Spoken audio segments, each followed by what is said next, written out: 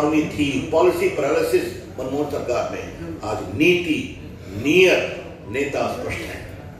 तो भारत की अर्थव्यवस्था दुनिया की पांचवी हो गई तीसरी बनने जा रही है।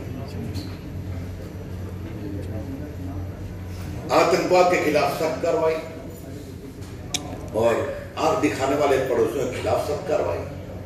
सनातन का सम्मान और प्रभु राम का सम्मान।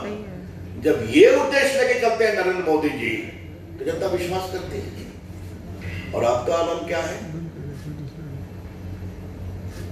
मैं तो रामल्ला जी का वकील था तो मुझे बुलाया गया था तो मुझे लग रहा था कि लास्ट में सोनिया गांधी, राहुल गांधी आ जाएँगे। लालू जी पर डाउट था। आप कोई नहीं आया।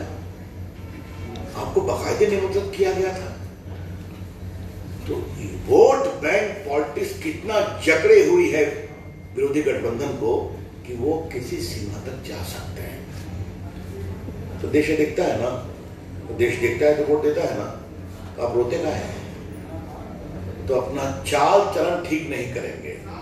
तो लोकतंत्र खतरे में है तो न्यायालय नहीं सुनता, ईवीएम खराब है तो बैलेट पेपर ले आओ मतलब फिर लूट करो बैलेट पेपर की। आप लोग सब अनुभवी पत्रकार है ना जी। कितना लड़ाई होती थी बिहार में, कितनी लाश गिरती थी पटना में तो कितनी बार बूथ पर हम लोग बैठे थे तो कितना चेजिंग चाहेटा चाहिए होता आज तो खत्म हो गया ये गर्व है चुनाव आयोग न्यायालय आपको बिल देती है ना? देती है। न्यायालय बाकी निर्णय भी करती है। भारत के न्यायालय भी स्वतंत्र है। और जो वो मीडिया को गाली पढ़ते हैं, वही मीडिया आपके इस बात को दिखाता है कि टीवी पर। हम तो इस शब्दों का प्रयोग नहीं करते।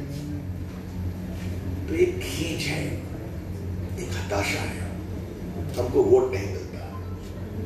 अपनी करनी ठीक करिएगा तो वोट मिलेगा। तो करनी ठीक नहीं करते हैं, और मीडिया को गाली, न्यायालय को गाली, संविधान को गाली, चुनाव आयोग को गाली, देश देखता है। और मैं उम्मीद करूँगा कि बिहार में रात बंद होगा। संवैधानिक संस्थाओं पर बेशर्मी भरा आरोप लगाना और हमला करना बंद करें इंडिया गठबंधन इस देश लोकतंत्र पर हमें नाज है, बहुत नाज है। दुनिया को भारत के लोकतंत्र पर नाज है। दुनिया देखती है? क्या देश का गरीब आदमी जानता है कि केंद्र में किसको वोट देना है, प्रदेश में किसको वोट देना है? मैं उनसे आग्रह करूँगा, कृपया करके देश के मतदाताओं को समझाइए। अब आप मतदाताओं को नहीं समझा पा रहे हैं तो हम क्या करें? अब जाके हम उनके लिए वोट मांगे तो हम करने वाले नहीं हैं। मुझे लगा कि आगे बताना ज़रूरी है, मित्रों। प्रधानमंत्री जी कल आ रहे हैं, उनका बहुत स्वागत, उनका बहुत अभिनंदन। और प्रधानमंत्री जी आएँगे, और मुझे पूरा विश्वास है कि उनकी अगुवाई में आज तो एनडीए का व्यापक क्षेत्राधिकार बन गया, जेडीयू हमारे साथ है, नीतीश जी हमारे साथ है, एलजेपी हमारे साथ है। हमारे मांझी जी हमारे साथ हैं, उपेंद्र कुशवाहा जी हमारे साथ हैं। चालीस की चालीस सीटें हम निर्णायक रूप से जीतेंगे। इसी विश्वास के साथ प्रधानमंत्री जी कल पटना, बिहार आ रहे हैं जमुई में, उनका हम बहुत स्वागत अभिनंदन करते हैं। धन्यवाद।